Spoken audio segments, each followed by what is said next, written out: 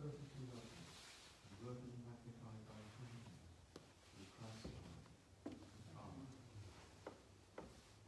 Our Lord Jesus Christ has said, Hear, O Israel, the Lord our God is one Lord.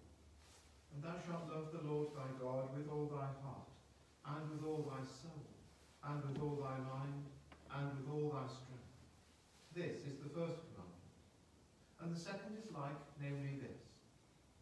Thou shalt love thy neighbour as thyself. There is none other commandment greater than these. On these two commandments hang all the law and the prophets. Lord, have mercy upon us, and write all these thy laws in our hearts, we beseech thee.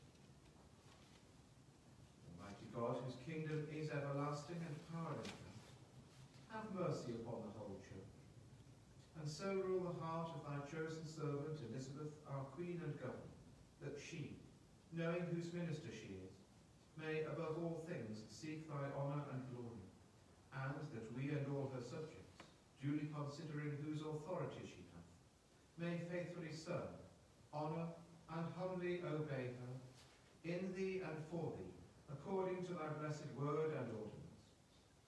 Through Jesus Christ our Lord, who with thee and the Holy Ghost liveth and reigneth, ever one God, world without end. Amen. In silence we pray.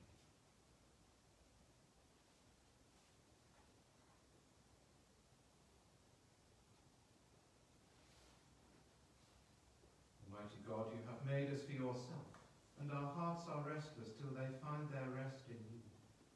Pour your love into our hearts and draw us to yourself, and so bring us at the last to your heavenly city, where we shall see you face to face. Through Jesus Christ, your Son, our Lord, who is alive and reigns with you, in the unity of the Holy Spirit, one God, now and forever. Amen. Portion of scripture appointed for the epistle is written in the third chapter of the prophecy of Malachi, beginning at the 13th verse. You have spoken harsh words against me, says the Lord. Yet you say, How have we spoken against you? You have said, It is in vain to serve God. What do we profit by keeping his commandment, or by going about as mourners before the Lord of hosts? Now we count the arrogant happy. Evildoers not only prosper, but when they put God to the test, they Those who revered the Lord spoke with one another. The Lord took note and listened, and a book of remembrance was written before him of those who revered the Lord and thought of him on his name. Then they, they shall be mine, says the Lord of hosts, my special possession on the day when I act. And I will spare them as parents spare their children who serve them. Then once more you shall see the difference between the righteous and the wicked, between one who serves God and one who does not serve. See, the day is coming, burning like an oven, when all the arrogant and all evildoers will be stubborn. The day that comes shall burn them up, says the Lord of hosts, so that it will leave them neither root nor branch. But for you who revere my name, the Sun of Righteousness shall rise, with healing in its wings. Here endeth the epistle. The Holy Gospel is written in the 11th chapter of the Gospel according to St. Luke, beginning at the 5th verse. Jesus said to them, Suppose one of you has a friend, and you go to him at midnight and say, Friend, lend me three loaves of bread, for a friend of mine has arrived, and I have nothing to set before him. And he answers from within, Do not bother, me, for the door has already been locked, and my children are with me in bed. I cannot get up and give you anything. I tell you, even though he will not get up and give him anything because he is his friend, at least because of his persistence, he will get up and give him whatever he needs. So I say to you, Ask and it will be given to you. Search and you will find. Knock and the door will be opened for you.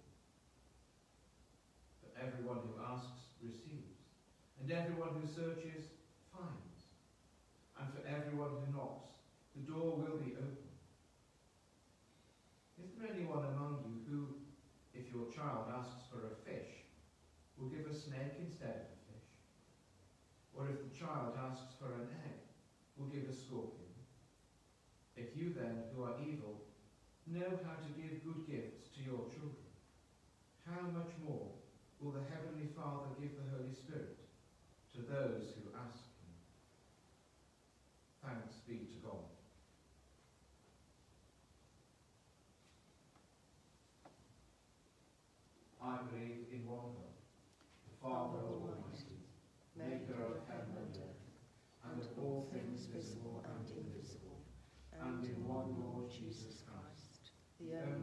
begotten Son of God, begotten of his Father before all worlds, God of God, very God, very God of very God, begotten and not made, being of one substance with the Father, by whom all things were made, who for us men and for our salvation came down from heaven, and was incarnate by the Holy Ghost of the Virgin Mary, and was made man, and was crucified also Pontius Pilate.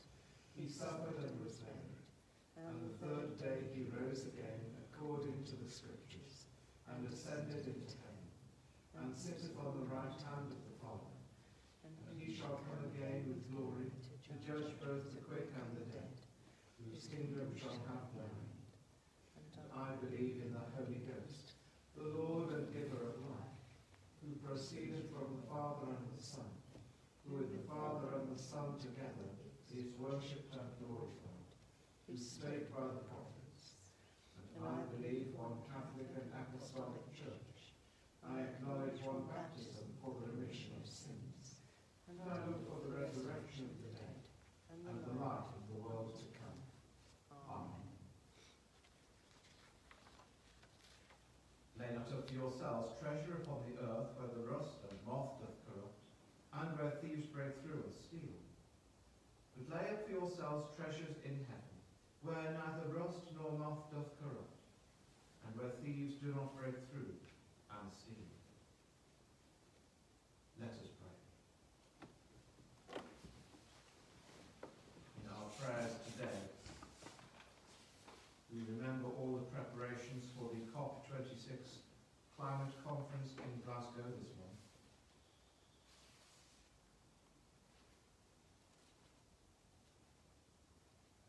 We pray for those baptized here last weekend.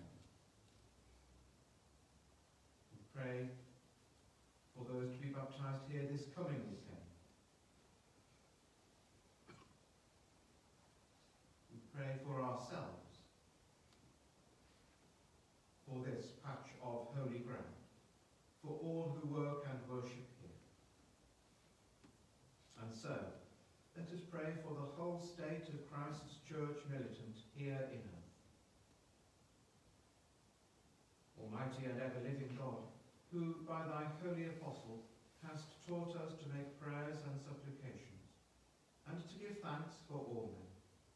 We humbly beseech thee most mercifully to accept our alms and oblations, and to receive these our prayers, which we offer unto thy divine majesty, beseeching thee to inspire continually the universal church with the spirit of truth, unity and concord, and grant that all they that do confess thy holy name may agree in the truth of thy holy word, and live in unity and godly love.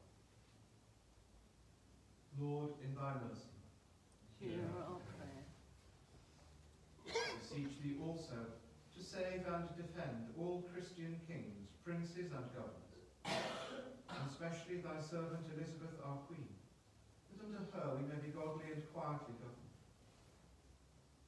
And grant unto her whole council, and to all that are put in authority under her, that they may truly and impartially minister justice, to the punishment of wickedness and vice, and to the maintenance of thy true religion and virtue. Lord, in thy mercy, Hear our prayer. give grace, O Heavenly Father, to all bishops and curates, to Justin our Archbishop, and to Christopher our Bishop, that they may, both by their life and doctrine, set forth thy true and lively word, and rightly and duly administer thy holy sacraments.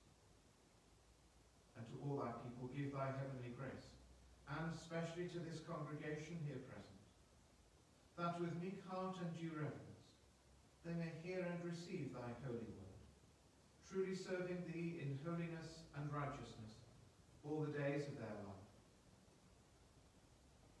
Lord, in thy mercy, Hear our prayer. and we most humbly beseech thee of thy goodness, O Lord, to comfort and succour all them who in this transitory life are in trouble, sorrow, need, sickness, or any other adversity. Remembering in particular Sally,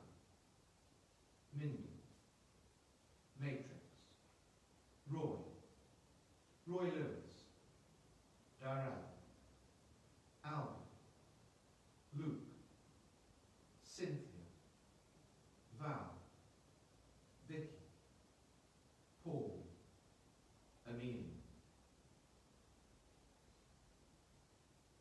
Lord, in thy mercy, Hear our prayer.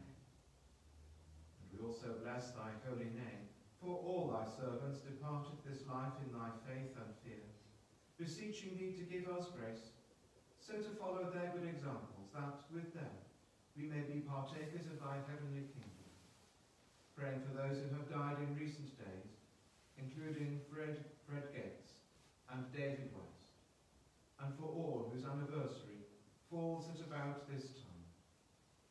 Rest eternal grant unto them, O Lord, let light perpetual shine upon them. May they rest in peace and rise in glory. Lord, in thy mercy, hear our prayer. Grant these prayers, O Father, for Jesus Christ's sake, our only mediator and advocate. Amen. That do truly and earnestly repent you of your sins, and are in love and charity with your neighbours, and intend to lead a new life, following the commandments of God, and walking from henceforth in his holy ways. Draw near with faith, and take this holy sacrament to your comfort, and make your humble confession to Almighty God, meekly kneeling upon your knees. Almighty God, Father of our Lord Jesus Christ, Maker of all things, Judge of all men, we acknowledge and bewail our manifold sins and wickedness, which we from time to time most grievously have committed by thought, word, and deed, against thy divine majesty, provoking most justly thy wrath and indignation against us. We do earnestly repent, and are heartily sorry for these our misdoings. The remembrance of them is grievous unto us. The burden of them is intolerable. Have mercy upon us. Have mercy upon us, most merciful Father. For thy Son, our Lord Jesus Christ's sake, forgive us all that is past, and grant that we may ever hereafter serve and please thee in newness of life, to the honour and glory of thy name, through Jesus Christ our Lord. Amen.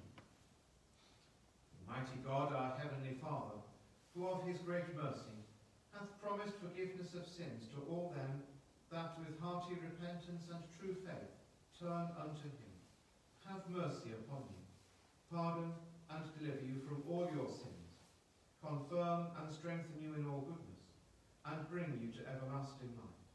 Through Jesus Christ our Lord. Amen. Hear what comfortable words our Saviour Christ saith unto all that truly turn to him. Come unto me, all that travail and are heavy laden, and I will refresh you. Hear also what St. John saith. If any man sin, we have an advocate with the Father, Jesus Christ the righteous, and he is the propitiation for our sins.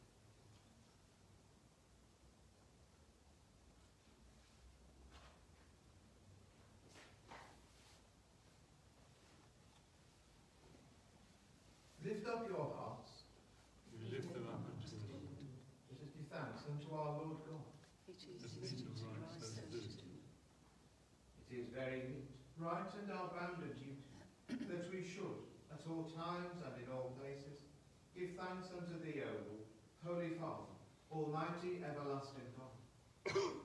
Therefore, with angels and archangels, and with all the company of heaven, we laud and magnify thy glorious name, evermore praising thee and saying, Holy, holy, holy, Lord God of hosts, hosts, heaven and earth are full of thy glory. Glory be to thee, O Lord Most High. We do not presume to come to this thy table, O merciful Lord, trusting in our own righteousness, but in thy manifold and great mercy. We are not worthy so much as to gather up the crumbs under thy table. But thou art the same Lord, whose property is always to have mercy. Grant therefore, gracious Lord, so eat the flesh of thy dear Son, Jesus Christ, and to drink his blood, that our sinful bodies may be made clean by his body, and our souls washed through his most precious blood, and that we may evermore dwell in him, and he in us. Amen. Almighty God, our heavenly Father, who of thy tender mercy didst give thine only Son, Jesus Christ, to suffer death upon the cross for our redemption, who made there, by his one oblation of himself once offered, a full, perfect and sufficient sacrifice, oblation and satisfaction for the sins of the whole world, and did institute, and in his holy gospel command us to continue a perpetual memory of that his precious death, until his coming again. Hear us, O merciful Father, we most humbly beseech thee, and grant that we, receiving these thy creatures of bread and wine, according to thy Son, our Saviour Jesus Christ's holy institution, in remembrance of his death and passion, may be partakers of his most blessed body and blood. Who in the same night that he was betrayed took bread, and when he had given thanks, he broke it, and gave it to his disciples, saying, Take. This is my body which is given for you. Do this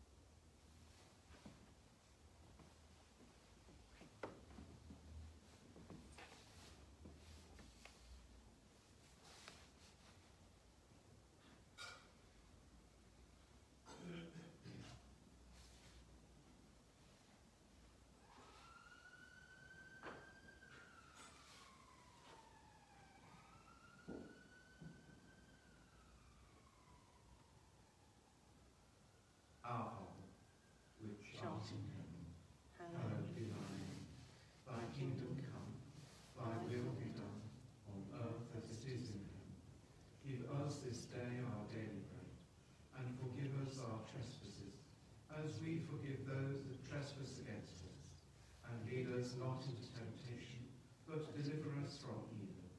For thine is the kingdom, the power, and the glory, for ever and ever. Amen. Almighty and ever-living God, we most heartily thank thee for that thou dost vouchsafe to feed us, who have duly received these holy mysteries, with the spiritual food of the most precious body and blood of thy Son, our Saviour Jesus Christ, and dost assure us thereby of thy favour and goodness towards us, and that we are very members incorporate in the mystical body of thy Son, which is the blessed company of all faithful people, and are also heirs through hope of thy everlasting kingdom, by the merits of the most precious death and passion of thy dear Son. And we most humbly beseech thee, O Heavenly Father, so to assist us with thy grace, that we may continue in that holy fellowship, and do all such good works as thou hast prepared for us to walk in.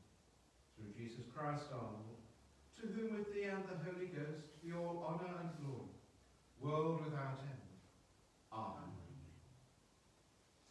Glory be to God on high, and in earth peace, goodwill towards men. We praise thee, we bless thee, we worship thee, we glorify thee. We give thanks to thee for thy great glory. O Lord God, heavenly King, God the Father Almighty. O Lord, the only begotten Son, Jesus Christ. O Lord God, Lamb of God, Son of the Father, that takest away the of the world, have mercy upon us. Thou that takest away the sins of the world, have mercy upon us. Thou that takest away the sins of the world, receive our prayer. Thou that sittest at the right hand of God the Father, have mercy upon us. For thou only art holy, thou only art the Lord, thou only, O Christ, with Art most high in the glory of God the Father. Amen. The peace of God, which passeth all understanding, keep your hearts and minds in the knowledge and love of God, and of his Son, Jesus Christ our Lord. And the blessing of God Almighty, the Father, the Son, and the Holy Ghost be amongst you, and remain with you always. Amen.